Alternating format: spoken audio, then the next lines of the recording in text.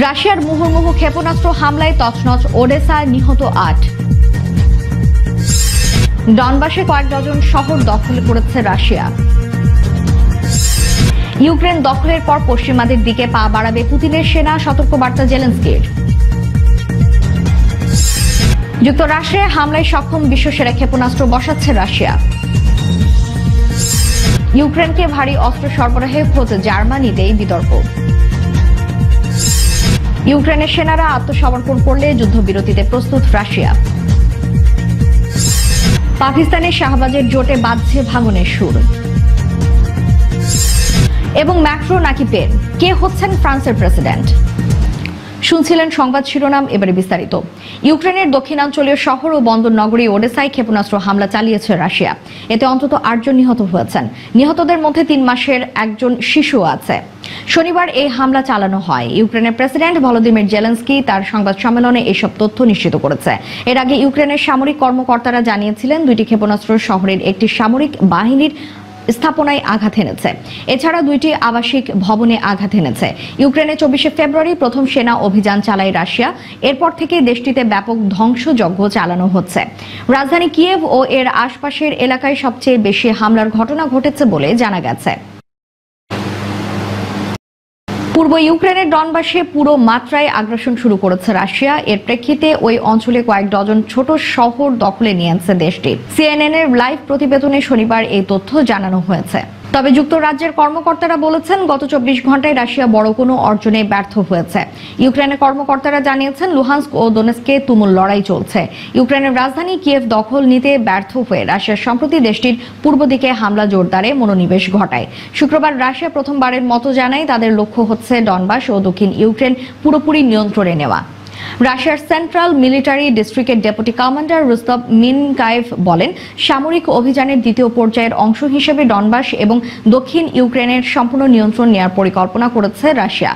রুস্তম আরও বলেছেন, Russia Crimea এবং ডনবাসের মধ্যে স্থল করিডোর তৈরিরও পরিকল্পনা করেছে। মারিওপোল দখলের পর এবার ভ্লাদিমির পুতিনের নজর পূর্ব ইউক্রেনে। তার নির্দেশে সেখানকার দোনেস্ক ও লুহান্স্ক অঞ্চলে ইতিমধ্যেই হানাদারির অভিঘাত বাড়িয়েছে রুশ সেনা। এই পরিস্থিতিতে শুক্রবার ইউক্রেনের প্রেসিডেন্ট ভলোদিমির জেলেন্সকি বলেছেন, পূর্ব এবং দক্ষিণ ইউক্রেনের উপরেই নির্ভর করছে দেশের ভবিষ্যৎ। পাশাপাশি আমেরিকা এবং পশ্চিম ইউরোপের দেশগুলির উদ্দেশ্যে জেলেন্সকির সতর্ক বার্তা ইউক্রেনে রাশিয়ার হামলার সূচনা মাত্র। ভ্লাদিমির পুতিন শেষ পর্যন্ত তার সেনাদের এইবার পশ্চিমের অন্য দেশগুলি দখলের নির্দেশ দেবেন। বস্তুত ইউক্রেনের পশ্চিমের পড়শি দেশ মলধোভার অংশ ট্রান্সনিট্রিয়া নব্বইয়ের দশক থেকেই রাশিয়ার দখলে। মারিওপোল দখলের পর রুশ জেনারেল রুস্তম মিনকায়েভ জানিয়েছেন, দক্ষিণ ইউক্রেনে রুশ নিয়ন্ত্রণ কায়েম হলে ট্রান্সনিস্ট্রিয়ার সঙ্গে মস্কোর যোগাযোগের সুবিধা হবে। যুদ্ধের উনষাটতম দিনেও রাজধানী কিভ সব ইউক্রেনের বিস্তীর্ণ এলাকা রুশ সেনার দখলমুক্ত। এমনকি তাদের দখল করা বেশ কিছু এলাকা পুনর্দখল করেছে জেলেন্সকির ফৌজ। এই পরিস্থিতিতে কিভ মুখী অভিযানের গতি কমিয়ে রুশ সীমান্ত লাগোয়া ডনবাস অঞ্চল দখলকে অগ্রাধিকার দিয়েছেন পুতিন। গত তেইশে ফেব্রুয়ারি ডনবাসকে স্বাধীন রাষ্ট্র হিসেবে স্বীকৃতি দেওয়ার কথা ঘোষণা করেছিলেন পুতিন। তার পরের দিন আনুষ্ঠানিকভাবে ইউক্রেনের বিরুদ্ধে সামরিক অভিযানের কথা ঘোষণা করেন তিনি। সারমাত নামের পরমাণু বোমা বহনকারী আন্তঃমহাদেশীয় ব্যালিস্টিক ক্ষেপণাস্ত্র শরৎকালে মোতায়েনের পরিকল্পনা করছে রাশিয়া। শনিবার দেশটির পক্ষ থেকে এই তথ্য জানানো হয়েছে। এই ক্ষেপণাস্ত্র দিয়ে যুক্তরাষ্ট্রে হামলা চালানো সম্ভব বলে প্রতিবেদনে বলা হয়েছে। রাশিয়ার মহাকাশ বিষয়ক সংস্থা রসকসমসের প্রধান দিমিত্রি রোজকিন এই লক্ষ্যমাত্রার কথা জানিয়েছে। গত বুধবার এই ক্ষেপণাস্ত্রের সফল পরীক্ষা চালায় রাশিয়া। বার্তা সংস্থা রয়টার্স জানায়, ক্ষেপণাস্ত্রটির সফল পরীক্ষার পর ভ্লাদিমির পুতিন বলেছেন সারমাত বিশ্বের যে কোনো ক্ষেপণাস্ত্র বিধ্বংসী প্রতিরক্ষা ব্যবস্থাকে পরাস্ত করতে সক্ষম। তিনি এই ক্ষেপণাস্ত্রকে বিশ্বসেরা হিসেবে উল্লেখ করেছেন। বহু বছর ধরে তৈরি করা ক্ষেপণাস্ত্র সারমাত দশবার তার বেশি পারমাণবিক ওয়ারহেড বহন করতে সক্ষম এবং কয়েক হাজার মাইল দূরে যুক্তরাষ্ট্র বা ইউরোপে আঘাত হানতে সক্ষম। রোজগিন রাশিয়ার রাষ্ট্র টিভিতে বলেন, সারমাত সাবেরিয়ার ক্রাসনোয়াস্ক অঞ্চলে একটি ইউনিটের সঙ্গে মোতায়েন করা হবে। এটি মস্কো থেকে প্রায় তিন হাজার কিলোমিটার পূর্বে। এর আগে রাশিয়ার প্রতিরক্ষা মন্ত্রণালয়ের বিবৃতিতে বলা হয়, এটি চলার পথ পরিবর্তন করে তার লক্ষ্যে আঘাত করতে পারে। এটি উৎক্ষেপণ করতে যে যানটি সাহায্য করে, সেটি শব্দের চেয়ে বেশি গতিতে চলে। এর ওয়ারহেডগুলো আলাদা আলাদা লক্ষ্যে আঘাত হানতে পারে। এতে যে কয়টি ওয়ারহেড রয়েছে, যে গতিতে এটি যাত্রা করে, তাতে সারমাত বিশ্বের সবচেয়ে ক্ষমতাশালী ক্ষেপণাস্ত্র। এটি বিশ্বের সবচেয়ে বেশি দূরত্বে আঘাত হানতে সক্ষম।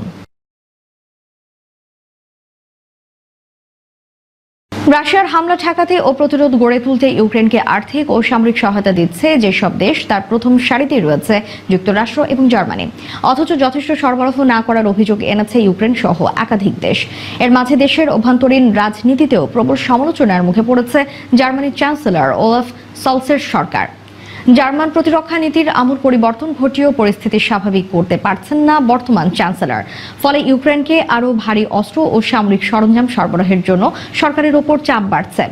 জার্মানি তথা নাটকে যুদ্ধে সরাসরি জড়িয়ে ফেলতে চান না সলস। তাই অস্ত্র সরবরাহের বদলে ইউক্রেনের অস্ত্র কেনার জন্য বিশাল আর্থিক সহায়তার উদ্যোগ নিচ্ছেন তিনি। দেশটির এমন পরিস্থিতি নিয়ে জার্মানির আইনমন্ত্রী মার্কো বুশম্যান বলেছেন, ইউক্রেনকে সাজোয়া গাড়ির মতো ভারী সামরিক সরঞ্জাম সরবরাহ করলে আন্তর্জাতিক আইন অনুযায়ী সে পদক্ষেপ মোটেই রাশিয়ার বিরুদ্ধে যুদ্ধ ঘোষণার সমান হবে না। ইউক্রেনের আত্মরক্ষার অধিকার রয়েছে বলেও মনে করেন তিনি, ফলে সে দেশকে অস্ত্র সরবরাহ করা আইনসম্মত, তিনি বলেন, এটাই জার্মান সরকারের অবস্থান।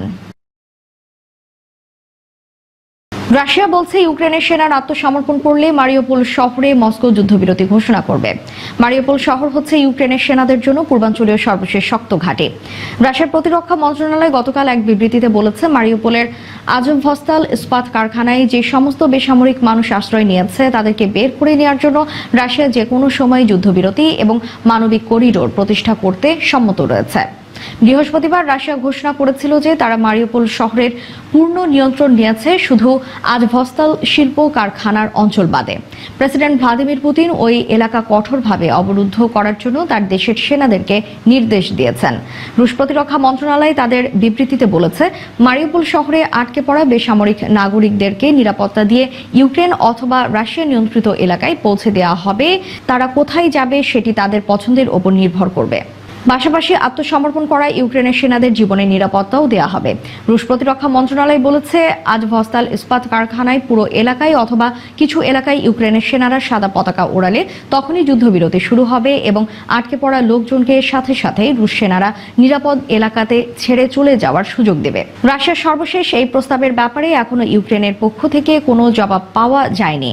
এর আগে রাশিয়া ইউক্রেনের সেনাদের আত্মসমর্পণের আহ্বান জানালে তারা সেই প্রস্তাব প্রত্যাখ্যান করেছে।